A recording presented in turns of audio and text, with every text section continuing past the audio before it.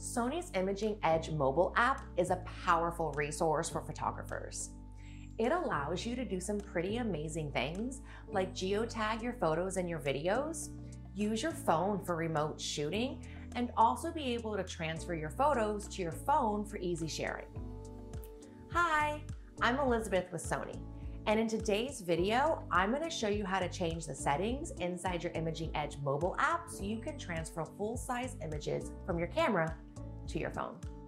Now, the first time you set up the Imaging Edge mobile app, by default, the file transfer size is gonna be two megabytes. Now, this is good quality and it is perfect for viewing on your mobile device and sharing on social media.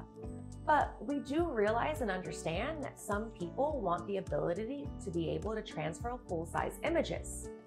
If you follow along, I'll show you how to change that in the setting.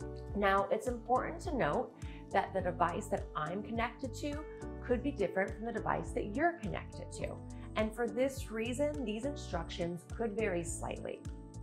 The first thing that you're gonna to want to do is make sure that you have the Imaging Edge mobile app installed into your device already.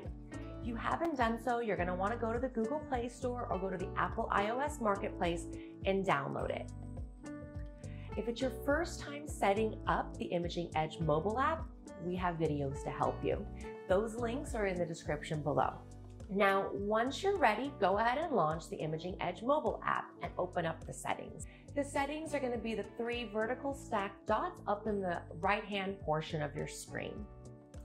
Inside your settings, you're going to see image size for transferring. Inside there, you're gonna see a few different options. Go ahead and select the original.